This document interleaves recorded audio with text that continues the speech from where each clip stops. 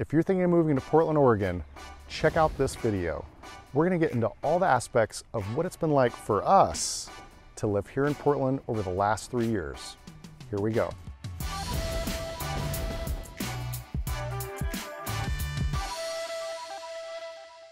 I'm Aaron Cullen, this is Brianna Cullen, and in this video, we're gonna get into what it's like to move to Portland, Oregon. And we're gonna cover all kinds of aspects from schools, the feeling, shopping, where you, where you wanna live, if you like to drink beer, where you should go. This video is really just kind of an overview to give you a little bit more nuanced aspects of, you know, people that weren't born and raised here, that moved here over three years ago, and what our experience has been like, and my view from being a real estate agent, to give you a little bit better insight and some more clues on if you want to move to Portland, and if you do, where you might want to live. Here we go. We moved to Portland about three years ago, and I also lived in this neighborhood that we're walking through today, uh, like 12 years ago. So I would say one of the things about Portland, one of the great things about it is that every area really has its own unique feeling. There are so many cool neighborhoods to choose from, and your experience living here is going to depend a lot on which neighborhood, which pocket, which suburb of Portland you choose. Yeah, it's so true. It's so many different areas that make up Portland. That's one of the really cool things that I like about living here and we lived in Los Angeles for a long time. And that's actually one of the things I really liked about there too. That city just gotten so big, but it used to be all these smaller towns or pockets or neighborhoods that the city just kind of like, you know, overgrew. And now it just seems like one giant city. But you can still see those, definitely those like kind of nuanced, you know, different feelings in those different neighborhoods. And Portland has that a lot more pronounced, in my opinion, than a lot of other cities. So I think that's what's one of the really cool aspects about, you know, check out our videos, look at some of the other ones, and you can get a kind of a get of a feel for what some of those other neighborhoods or suburbs are like, because there really is a big variety. I think no matter what you're into, if you're more into the city, or if you want more want the suburb life, there's something for everybody. So no matter what kind of lifestyle you're looking for, I think there really is something for everyone here. You know, if you want that downtown feeling, you know, we've got the Pearl District right downtown with brand new condos and high rises. Like walkable neighborhoods with a street full of coffee shops and cafes and bars. There are a lot of neighborhoods like that in Portland, especially I would say in the northeast, the quadrant that we're in now, the southeast, yep. both of those have a lot of really cool walkable neighborhoods the Northwest does as well. So I think, you know, your first few months in Portland are about like exploring different neighborhoods, finding different parks and hiking trails. And definitely, if you're thinking of moving here and you aren't familiar with all of those different pockets, you want to come up for a visit, check them out, see some houses in different areas mm-hmm. so that you can see what's the right fit for you. Reach out to Aaron, he can set something yeah. up for you. Yeah, give me a call. My information's right down there in the description area. I love talking to people about Portland. I love living here. So you know, let me share that knowledge with you. I think another big thing about, you know, your first year in Portland is getting used to the seasons. So I have really loved having all four seasons here. You're going to be stocking up on different weather gear if you're not coming from a place with rain and all four seasons because if you want to spend time outside in the winter, you know, you need a rain jacket, you need a hood, yep. you need the right up. boots. So that's definitely going to be a big part of your integration, acclimation into living in the Northwest. Yeah, so true. That was one of the first purchases I made. I already had a rain jacket, but I wanted one of those light rain jackets with a hood. And they, the hoods here will have like a little extra flap that you can kind of like extends out and you can flip it up a little bit. And when it's a light rain, it just keeps that rain from going off to the side from going over on your eyeglasses and stuff. We just passed that house uh, right down there that this is one of the also one of the cool things that you'll get to notice about moving to Portland is that you know the, the city is known for having very creative people, creative outlets. Portlandia, you know. yeah. And so this house that we just passed, and you'll see these all the time, you know, he's just expressing his own little creativeness. He had a bunch of like little knickknacks and stuff in his yard, and a sign that said love made out of different colored pieces of wood, and a little plastic dinosaur, you know, in his garden. Uh, you'll just see a lot of little, you know, kind of like creative outlet type things like that that I really personally appreciate. and then you'll get someone right next to them that has like this amazing manicured yard. So Yeah, this You know. house right here is crazy. It's so amazing. yeah, this house right here is really cool. I love this part of Alameda. It's got all the big, huge houses. You know, these houses Like in this, vintage homes. Yeah. Like really beautiful character. yeah. And all these homes in this part of the neighborhood are over a million dollars, some multi-million. We just walked by a real cute one back there though that was like mm, what, 795, 895. Yeah, no, that's true. So yeah, right on the edge of this block. But that's one of the cool things I like about in Alameda and these pockets is you can have, they still do have a real mix of prices. You can have a multi-million dollar estate, which is like we're passing by right here, and then right across the street, you know, can be a $700,000 house. all my life I've loved walking through like neighborhoods with beautiful homes. So I would always take, you know, a less expensive home in a really gorgeous neighborhood so that I Yeah. get to experience the neighborhood. Yeah, I mean, some of these houses have like park-like settings to their grounds, which is just beautiful to be able to walk around. All right, here's our car. We're gonna hop in it and take you over to Alberta. If you have any questions and you wanna reach out, my information is right down there in the description. Email, text, phone call, just go ahead and reach out. Hey, so here we are on Alberta Street. This has a ton of really cool eclectic shopping, coffee shops, kid toy stores. Yeah, I think just something to know about Portland is that in the whole like shop local movement nationwide, Portland is the quintessential like local living, shop local kind of place. We have a favorite toy store. Actually, Juliet told me you're taking their, her there today after school today. Ah, yes, the Multnomah Village Toy Store. Thinker Toys. She And- lost this cheap little plastic bouncy ball that's pink. So, hey, this was like a few days ago. I said, she wants to go. Hey, sure, let's go. So a really cute little bookstore, and I'll call Green Bean Books, Yep. and very artsy. A lot of um, brands that are very small, handmade, U.S.-made clothing brands here in Portland. And here is Barista, which is one of your favorite coffee yeah, shops. I love barista. This has been here for a long time. I used to come here, you know, Yeah. back in the day, a decade ago, write in my journal, drink the coffee. Well, even when we would come to visit before we moved here, you would come bring us in here all the time. Let's talk about food, what it's like to eat in Portland. I don't know about you, but when I get oriented in a new city, even if I'm just on vacation, I need to find like the best coffee shop that's in my vicinity. And I think, you know, moving to Portland, one of the most fun things is to find your spots. So Portland has the best coffee in the country, in my opinion. I think the she's a coffee, Yeah. I would say, expert in my book.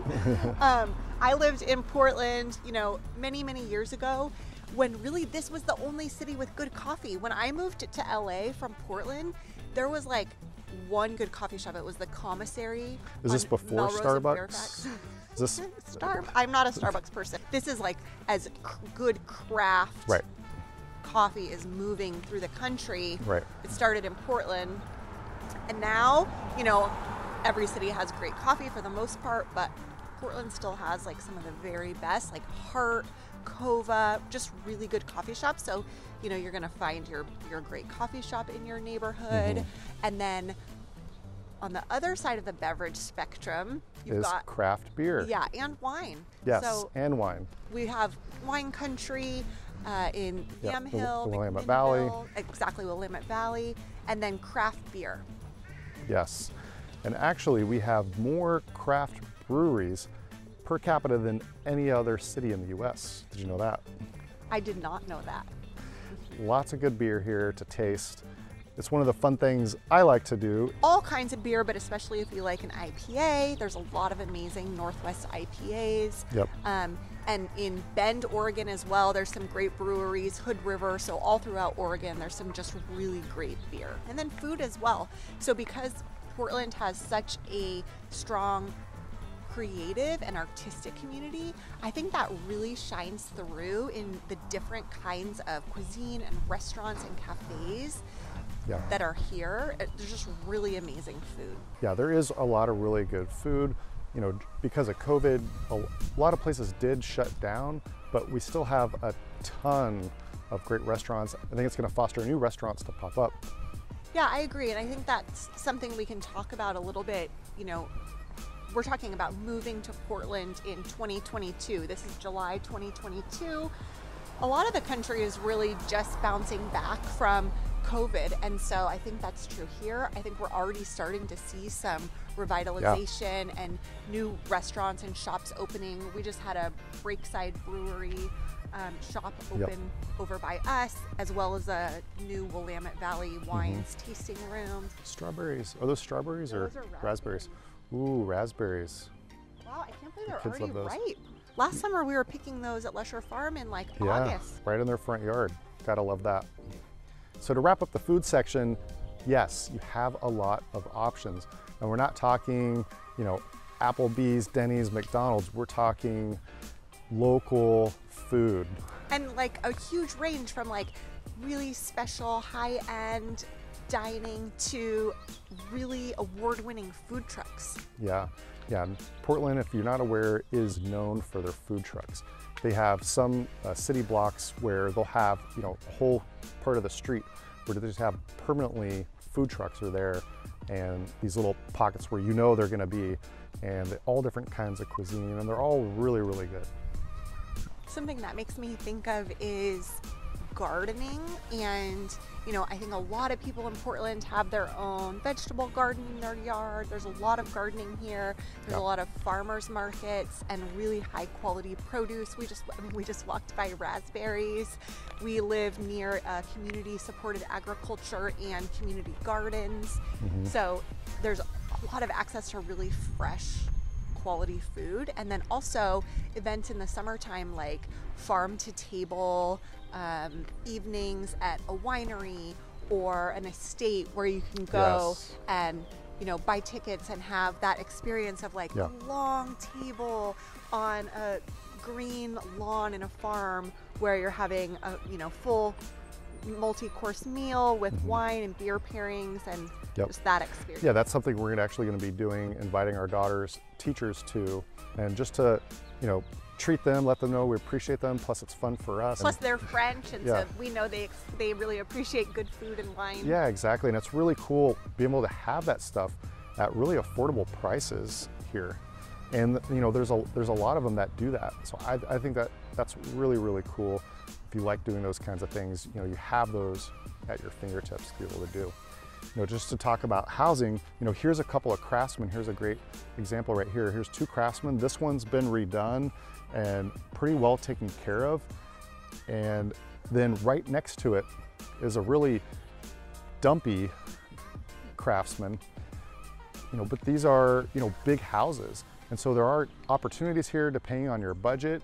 If you want to have a little bit, save a little bit on your house, but have more elbow grease uh, to build that equity, you know, there's a lot of those opportunities. Like this house right here. I mean, tons of cool character. If you like these older houses, you know, that are 80 to 100 years old, you know, Portland has a lot of these. Uh, a lot of them are going to be fixed up, but there's still a ton of them that haven't been. So, you know, reach out to me if you want to learn more about those kind of opportunities and might be interested in getting an older house so I could kind of steer you to the right pockets for that. I think while we're talking about real estate, honey, just something to hit on when people are thinking of moving to Portland in 2022 is overall housing market and prices. So, you know, maybe give them a sense of what's happened to the housing market here over the last few years. Yeah, in the last few years, you know, we've seen a huge boom in the real estate. Depending on which pocket you're talking about, you know, Portland in general has appreciated, you know, 30 to 40 percent in the last three years. And most of the country, you know, for that fact, has also appreciated, uh, you know, around those similar numbers, you know, depending on which city you're talking about. But, you know, everywhere across America, you know, everyone's talking about inflation. you know, all of that has definitely affected housing prices with a housing shortage. People want bigger homes, bigger yards. Condos and stuff were a lot less competitive. Now they're going a little bit faster and people are starting to move you know, back into the city. And, but the, the big houses are definitely still in demand. Yeah, that's a really neat house. So what do you think? I think the question on people's minds might be then, is it still a good value here if the prices have Yeah. gone up? Yeah, that's a great question. I think it's still a, a tremendous value here in Portland. And I always look at housing as a long term. You know, we're investors ourselves in real estate, and that, that's how I started before I became a real estate agent.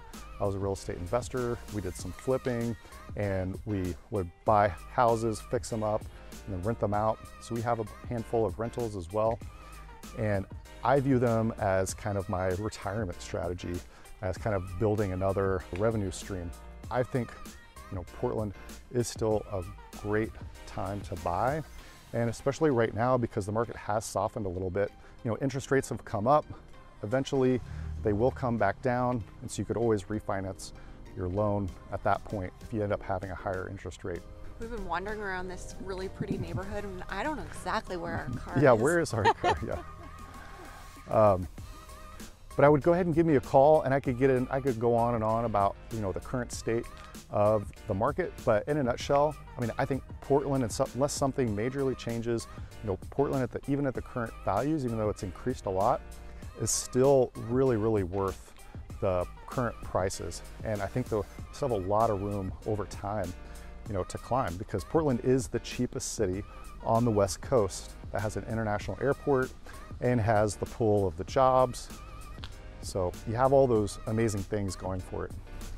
Yeah, and I think, you know, just on a very like personal anecdotal anecdotal level, moving is such a big deal. And in this video we're talking about, you know, moving to Portland, moving cities. Yeah. It's a huge decision. It's something that at a lot of times in my life I felt like I, I needed to find the right place for me and I've been lucky to do that in, in different cities. But I overall feel so fortunate that we made the move and it was a big decision for us with Yeah. a lot of like really ah back and forth is this really what we want to do For sure. and it it really has been If you guys have any questions, go ahead and reach out. My information's in the description area right down there. It was my pleasure getting to talk to you guys. I'll see you on the next one. Bye.